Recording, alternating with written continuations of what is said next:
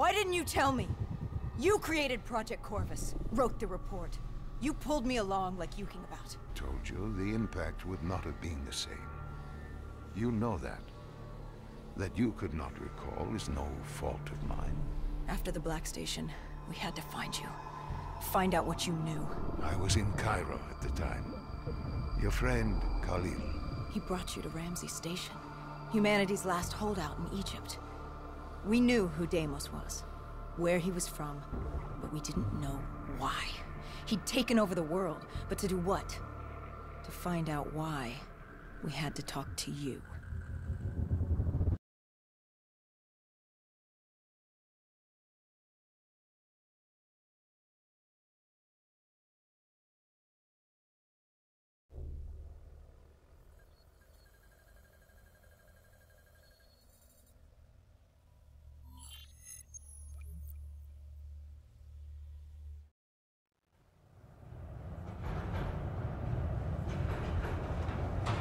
Pieces were coming together. Virus 6115, Taylor's team, the undead, it all came back to Deimos. All we needed was you. Hendricks was unhinged. The idea his friends betrayed mankind to help a demigod. The concept alone was insane, let alone his friend's involvement. Kane was in it to the end. By now, she was as obsessed with stopping Deimos as we were. We weren't ready for Cairo. No matter what we thought. This place. If there was ever a place that was hell on Earth, this was it. It wasn't just the city. The entirety of northern Africa had fallen to the undead. The walls were covered with memories of the dead, those taken by 6115 lost to this wasteland, the desert for the undead. It was the last place on Earth you'd want to be. But you chose to hide there. Why? For that very reason, I hoped no one would come for me. Why? What were you running from? From what you sought, Deimos. Khalil was waiting. He was holding you in an interrogation room. How was Khalil? Happy to see you. It wasn't a warm welcome. As far as he was concerned, we owed him one for grabbing you. More than a few men gave their lives to bring you in. He hoped it was worth it. He was angry? He was tired. Tired of fighting a losing battle. Khalil was a realist. He'd fight to the death for country. But he knew what was coming. And what was coming? Extinction. The undead changed everything. The NRC were hit first and hardest. We saw that in Ethiopia. The damage done by the dead didn't even take into account what the water wars did. When the continent dried up and the Nile River Coalition took war to Egypt over the Nile, the last water supply. They were so busy fighting they didn't realize it too had dried up. But the rise of the undead? How do you fight an enemy that doesn't need water? Khalil's rage wasn't misplaced. It wasn't personal. He was just barely holding on. What did you hope to learn from speaking to me? How to stop Deimos. Everyone has a weakness. The whole base was on edge. You could feel it in the air. The dead were moving on Ramses. An assault was imminent. Khalil didn't know how much time we had with you. Hendricks demanded to know why we weren't informed. How did Khalil respond to his anger? WA command was down. How was he meant to get his message through? Besides, they still had their dead system. They used to knock enemy aircraft out of the sky, but now they were used to eviscerate the undead. If any came too close, the laser cannons would take them out. Khalil led us to interrogation. He warned us our time was limited. No telling when the dead might attack. But if we could get answers out of you, maybe we could find a way to fight back.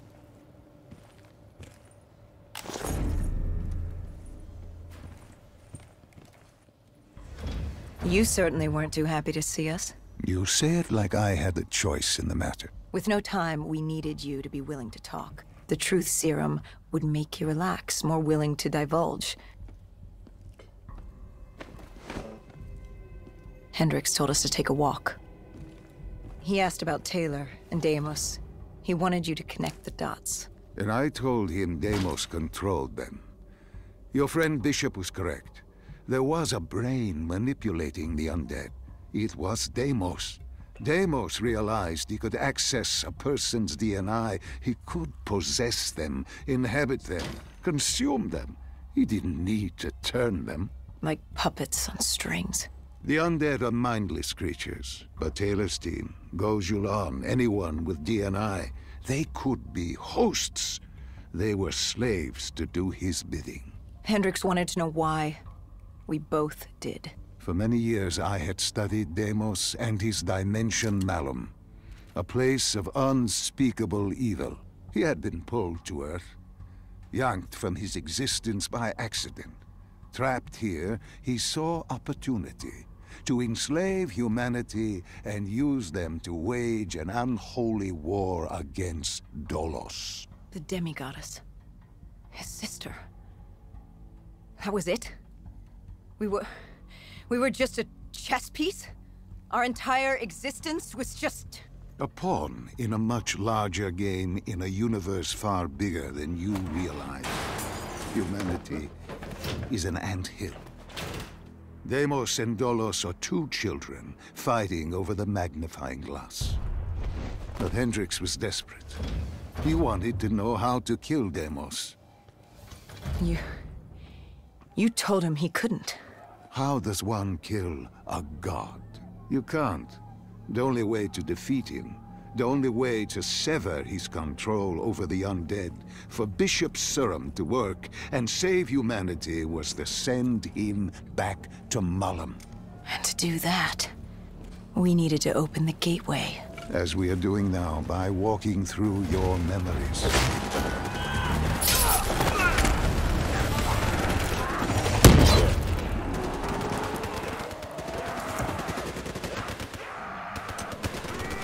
The assault on Ramses was beginning. The base was about to be overrun. We.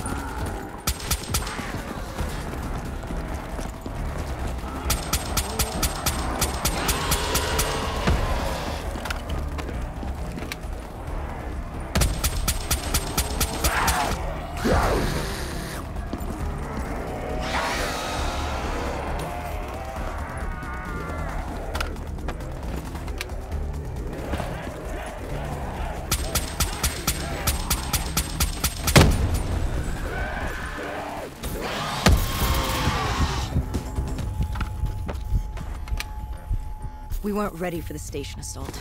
I don't know how the dead got in. Maybe an abandoned tunnel, an infected civilian. Or maybe the vultures let them through. But at the end of the day, it didn't matter. Egyptian army came over comms. They'd never seen a horde this size move on the station. If we had any chance to stop them, we needed to reinforce the eastern checkpoint. A narrow passageway the dead would need to traverse to reach Ramses.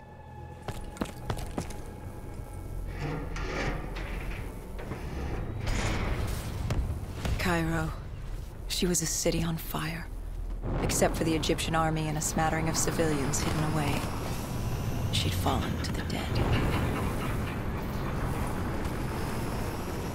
Khalil didn't say it, but I could hear it in his voice. He knew this was the last stand. If they lost this battle, they'd lose the city.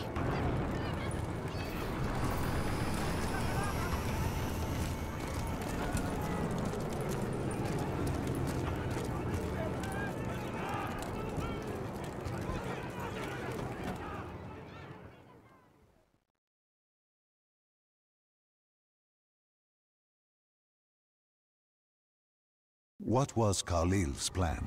The undead were moving on the eastern checkpoint. A clear shot at Ramses Station. The Egyptian army had rigged explosives below the street, but there were a few support columns we would need to take out first. We had the spike launcher for that. You talked of his desperation, his total acknowledgement of futility. Yet here he was, staying, staying and fighting. What else was he going to do?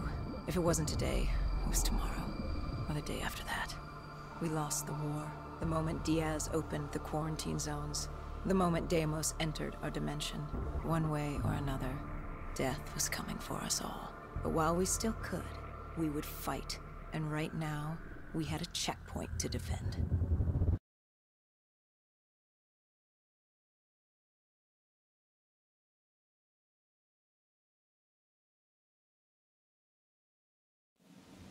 It was a simple, straightforward plan.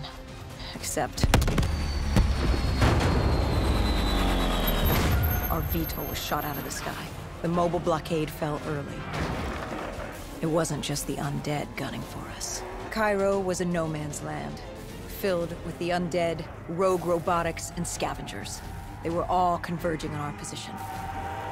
If we were gonna pull this off, we didn't have time to fuck around. I grabbed the spike launcher and told Kane at HQ to locate the support columns for us to blow.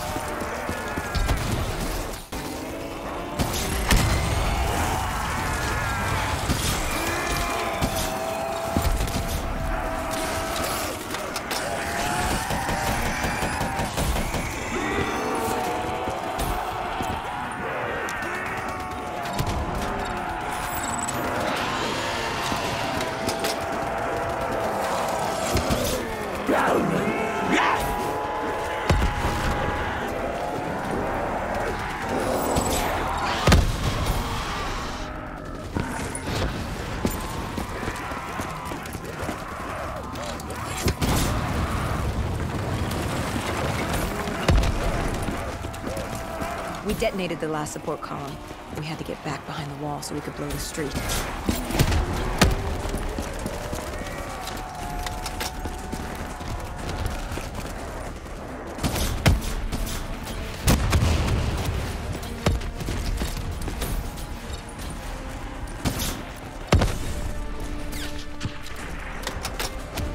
Our triggerman got hit. I had to get up there and detonate.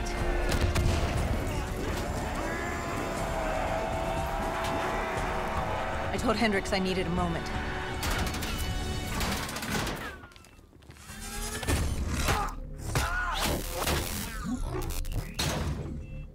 Good thing Hendricks still had our back.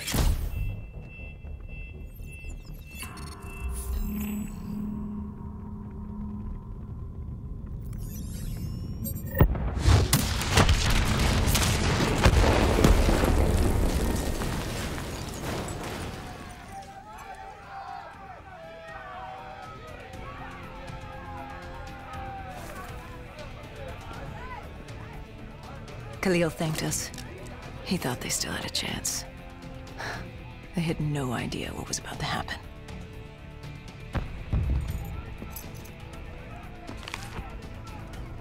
Egyptian Army Command came over comms. A scavenger had blown a hole through Sophia Square, and the undead were pouring through, headed for Ramses.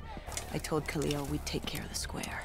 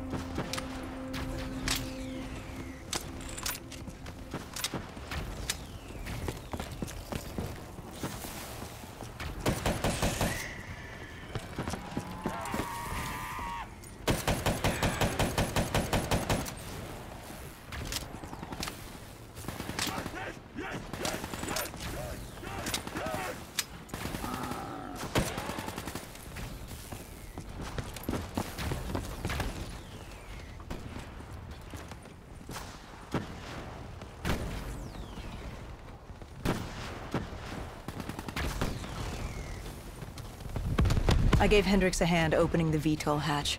I heard screams. There was someone still alive. You went in to save this man? The odds of his survival could not have been great. You yourself said no one was getting out alive. Does that matter? I guess it was Khalil who changed my mind. There were so few of us left. If there was a chance, any chance, I'd take it.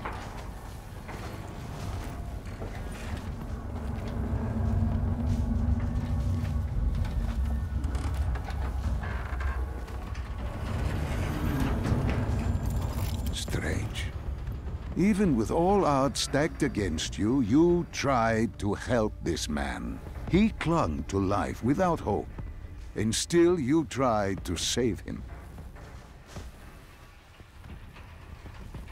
Turns out it didn't matter.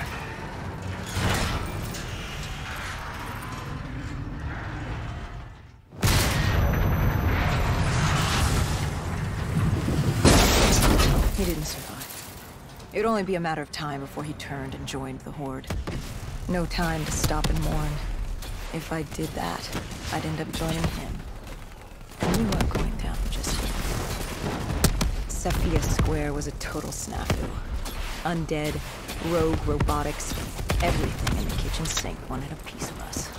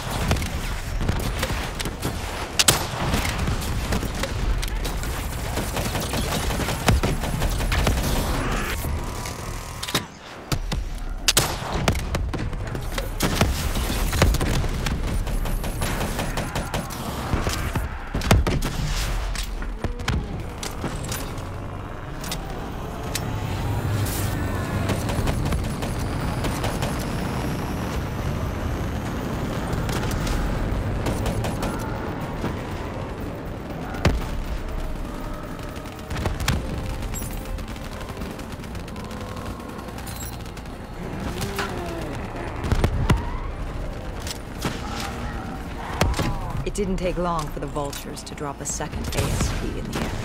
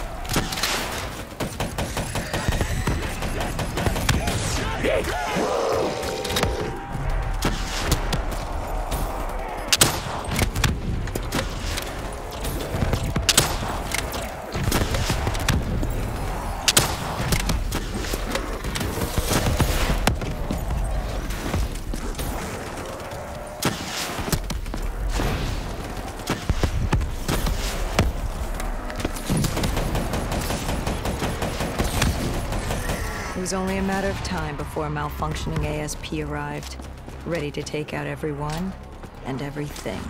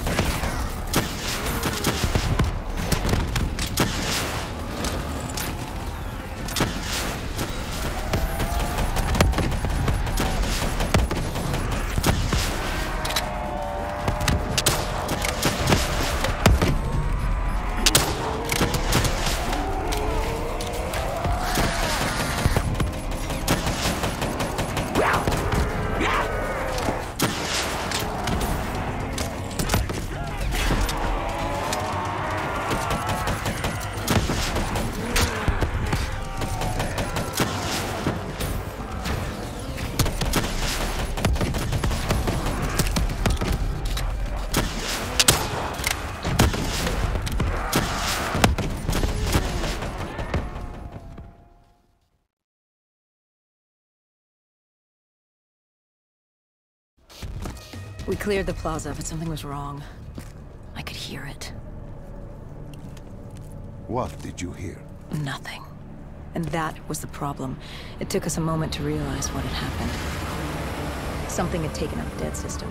One of the scavengers, maybe a malfunctioning biped. We saw reinforcements fly in, but it was too late. Khalil tried to reach Egyptian command. All we heard were screams. Ramses station had fallen to the dead. We got out of the open. Khalil, he He'd reached a breaking point. No mistaking that look. That look of defeat. Anger. Frustration. Hopelessness.